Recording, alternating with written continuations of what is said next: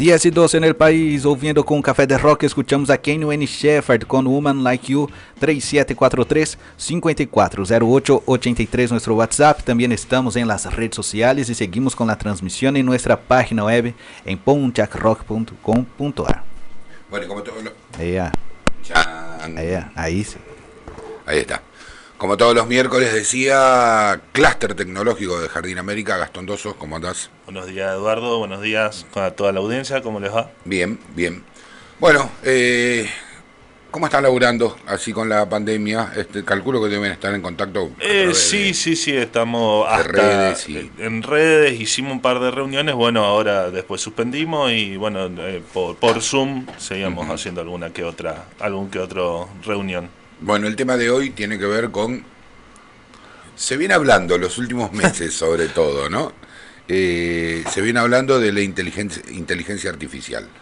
que es eh, porque muchas veces esto estaría bueno que, que cuentes un poquitito que pues muchas veces la gente piensa que va a venir un robot caminando buen día señor Eh, y cuando hablamos de inteligencia artificial al menos ahora Sí. no no sabe qué va a pasar en 50 años no no sé si 50 este, Mucho menos.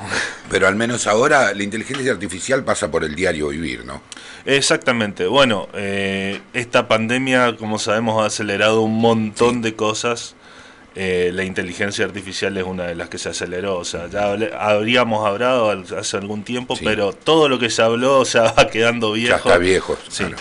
Eh, a ver, estamos en puertas de lo que se llama la cuarta revolución industrial. O sea, esto va, va a cambiar totalmente nuestra forma, no tanto de vivir, sino en cuanto a trabajo. O sea, sí va- sí de vivir porque eh, sí, eh, un tercio de nuestra vida, como mínimo un tercio de nuestras horas de día, es el trabajo. es el trabajo, claro. Y a ver, esto les asusta mucho y, y muchos dicen, no, no va a pasar, eh, lo lamento, sí va a pasar. El 70-80% de los trabajos que conocemos ahora van a desaparecer en los próximos 10, 15 años.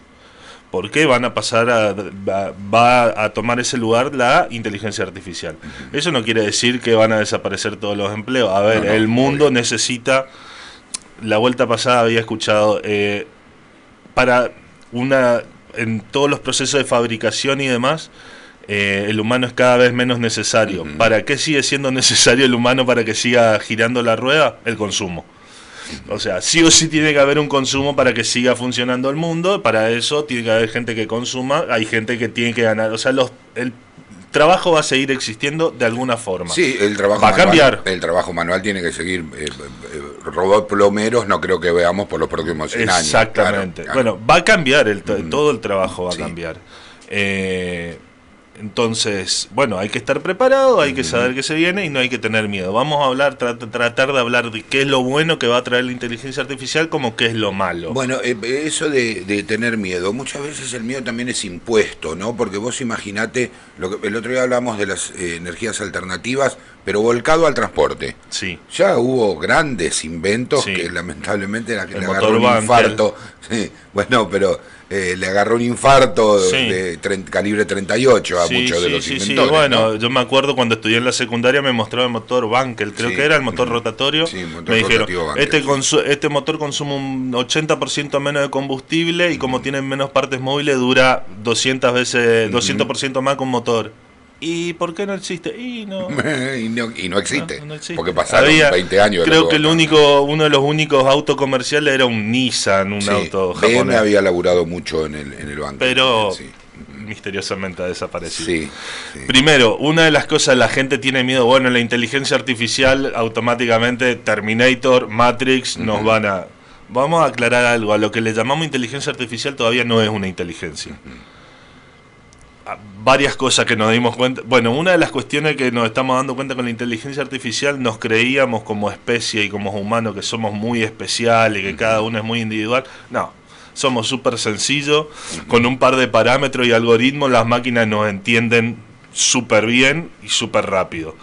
Eh, las inteligencias artificiales todavía eh, son siguen siendo en realidad una serie de, de algoritmos que Una- de órdenes, o sea, claro. vos le decís, esta es tu esto, función sí. y hacen eso. Mucho más rápido y eficiente que una persona, pero todavía para llamarlo inteligencia tendríamos que decir que tiene que ser autoconsciente. Claro, que se, que se dé cuenta si está haciendo mal, por ejemplo. No claro. solo eso, sino eh, al- una Y corregir, ¿no? Que sea autoconciencia de sí mismo. O sea, ¿qué soy? Soy una máquina. O sea, eh, Mm. Y pongo autoconciencia. tornillos, claro, esa es mi, mi vida. La autoconciencia las máquinas todavía no la tienen. ahí así cagamos, que- por suerte. eh, Por suerte. Por Porque eso, el problema nuestro es nuestra autoconciencia, ni más ni menos. eh, somos- eh, lo único que nos, eh, Claro. lo único especial que tenemos realmente Claro, es eso, la claro. autoconciencia. Bueno, entonces, a ver, vamos a hablar algunas, algunos datitos. Por ejemplo, hay un tal Nikolai Iranov. Ironov. Ese no lo. Bueno, es, es un diseñador gráfico de una empresa rusa que se llama Ledebev Studio. Este Nikolai, eh, el 100% de los trabajos que presentó, diseño- estamos hablando de diseño gráfico, o sea, eh, el 100% de los trabajos que presentó, los, los clientes lo aceptaron y se han sido publicados y con Lo un alto... máquina. Nikolai Viranov no existe, es una inteligencia artificial. O sea, ya una inteligencia artificial la están usando para crear imágenes, Sí. eh, publicidad. Que vendan, sí. Venden y más. O sea, Claro, tienen sí, mejor sí, recepción que los humanos. No, discúlpame, cortita. ¿Viste lo que pasó? No sé si sabes lo que pasó con MC. MC es una editorial muy internacional. Bueno, parece que el último premio es un boot el que lo ganó. Bueno, voy a hablar, vamos ah. a hablar no de, de- eh, voy a hablar de Guardian. The Guardian, por ejemplo, usa un software, el 60% de las notas de El The diario. Guardian, del, del Sí. diario The Guardian, Sí. un diario importante de, de Inglaterra, Sí, el 60% de sus notas son creadas por un bot. Claro. Agarran, le ponen 7, Sí. 8 cosas y a partir de ahí arma un... Vieron, O a sea, ver, 7, 8 noticias, quiero decir, por ejemplo, Sí. eh, fue a la mañana en tal lugar y tales personas. El bot funciona, uno le da dos o tres parámetros Claro. y él No crea quería la decir nota. parámetros, quería sí, explicar bueno, qué sí. era. Mm. Crea la nota automáticamente. Claro. El 60% del contenido de The Guardian ya lo hace un bot. ¿Qué pasa? ¿Qué es lo que detectaron? Eh, Vieron que normalmente, sobre todo con las redes sociales, pensamos que es un problema de Argentina, no, es un problema de todo el mundo.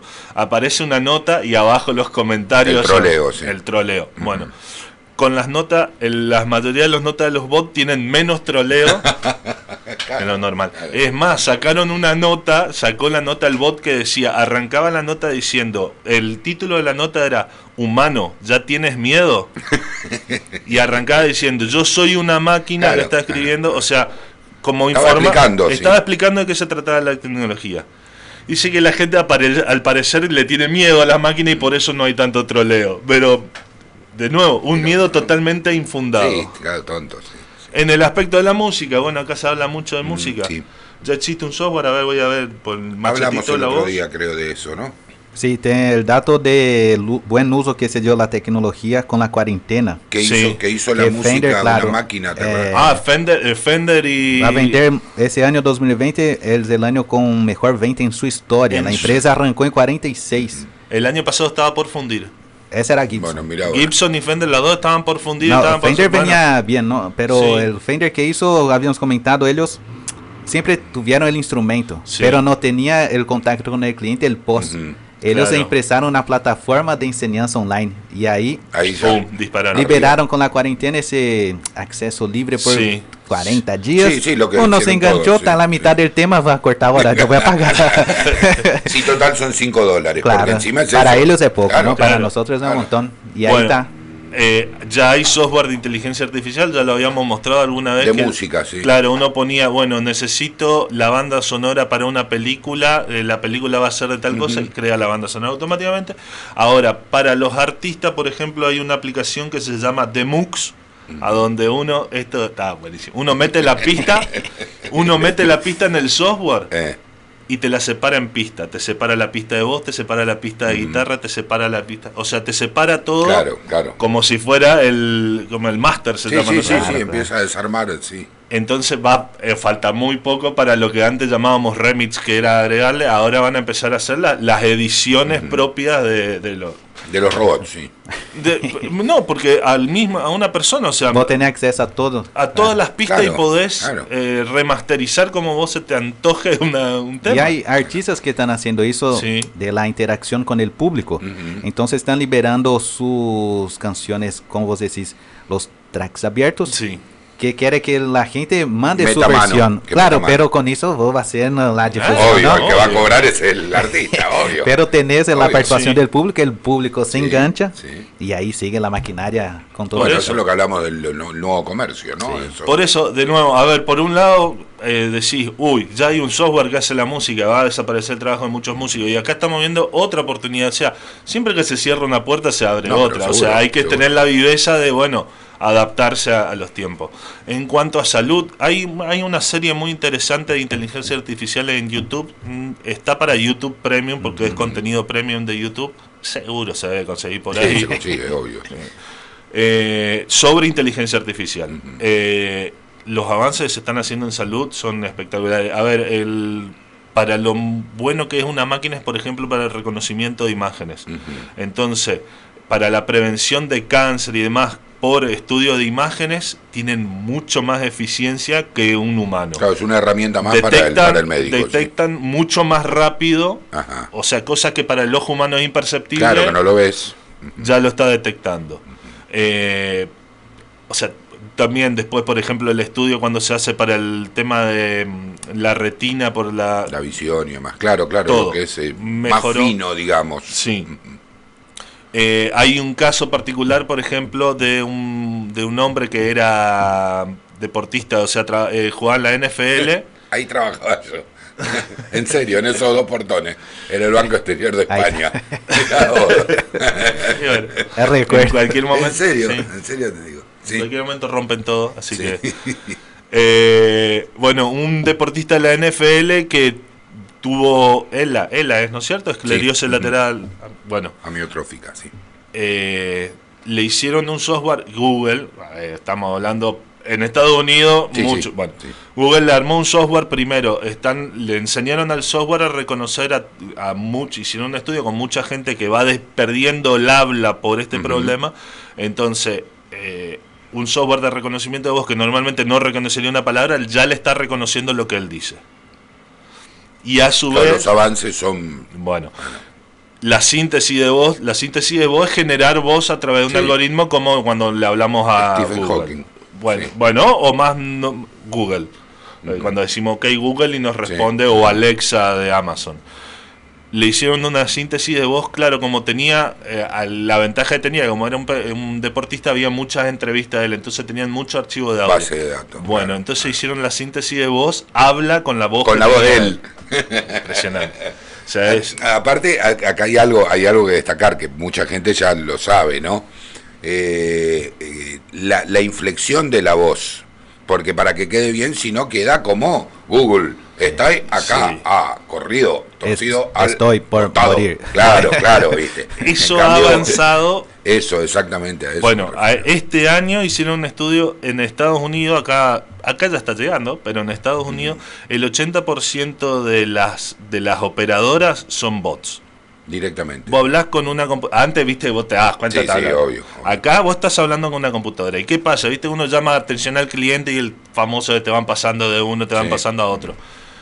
Cuando llegaba a un humano, la persona decía, no, no, no, pásame con el que, con el que estaba antes que me estaba tratando mejor. El que estaba antes era una computadora. Claro, claro. No se dan cuenta que es una computadora, no se dan cuenta que una computadora, se habla como si fuera una humana Y y se siente más cómodo encima. como la inteligencia artificial justamente también detecta las inflexiones en la voz y todo, adapta su discurso para este está enojado, este está recaliente, se va adaptando, es mucho más empática una computadora que una persona. Por eso digo que Es nosotros un asco. bueno, ahí, pero de nuevo, acá estamos hablando de una computadora que no es inteligente. Bueno, pero no es inteligente. Nos damos cuenta, nos estamos dando cuenta lo básico que somos como especie. que no era tan No son- inteligencia, sí, sino no son- que era más que nada cierto, ciertos rasgos, Tal digamos, de la personalidad. Sí. Entonces, bueno, Ah, otras cosas que se están viendo, bueno, ya vimos en Tesla, los autos Tesla que Sí. se manejan solos. A ver, es una noticia cuando choca un Tesla. ¿Por qué? Porque no chocan nunca.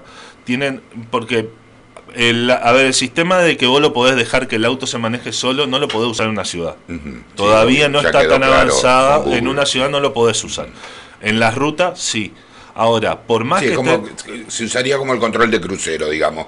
Que vos lo pones Sí. cuando estás en la ruta, obvio no lo pongas en la 9 de julio y Corrientes. No. Porque te vas, a claro, claro, Igual, así todo, cuando los autos de Tesla, cuando uno está manejando manual, igual la inteligencia está con todos los sensores y evita un montón de accidentes que el humano no lo evitaría. Claro. En ruta vos ves los videos, hay videos porque como tiene cámaras por todos lados y automáticamente se están, hay videos donde vos decís, de golpe pega un volantazo al auto y vos decís ¿por qué? y aparece un animal en la ruta. Sí, claro que ya lo vio con una cámara del costado. Claro, o sea, es impresionante. Claro, el reflejo es automático, no es como nosotros que tenemos. Bueno, y en Estados Unidos, a ver, en Estados Unidos tienen un problema que acá no. Acá, eh, gracias al gremio camionero, hay, o sea, camioneros funcionan muy bien, camioneros hay. En Estados Unidos tienen una deficiencia de 50.000 camioneros, faltan camioneros. Entonces ya están haciendo camiones. Hoy ya, ¿no? ¿Eh? Lo, para allá, Vamos a ver cuánta Lo apuntamos. Claro, te están esperando, Moyano. Bueno, están haciendo. No, no le va a caer muy bien que están haciendo camiones automáticos. Con auto, el rojo, ¿cómo era? John el rojo. Bueno, sí.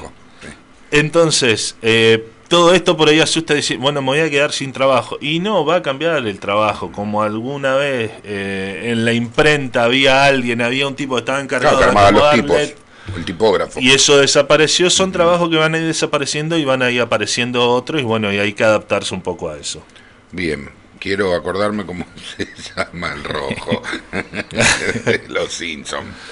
Bueno. Creo que era John el Rojo. Sí, me parece que sí, no me acuerdo. Bueno, este, así que se viene. Hay que, bueno, e, esto también tiene que servir como guía para qué vamos a hacer a futuro. No, no, no yo, yo sé lo que voy a hacer a futuro. Ingrid dijo Oscar. Pero este, para que los jóvenes empiecen a analizar también lo que, lo que van a hacer a futuro. Es muy amplia. La, tal vez no hay tantos lugares para ir. A ver, esto, esto va a sonar un poco de autoayuda, pero yo creo que este es el, momento, como nunca, de y hacer lo que quieras. O sea, hacer lo que realmente sentís, porque ¿quién te asegura? O sea, si empezás a estudiar una carrera porque te va a dar trabajo, ya arrancaste mal.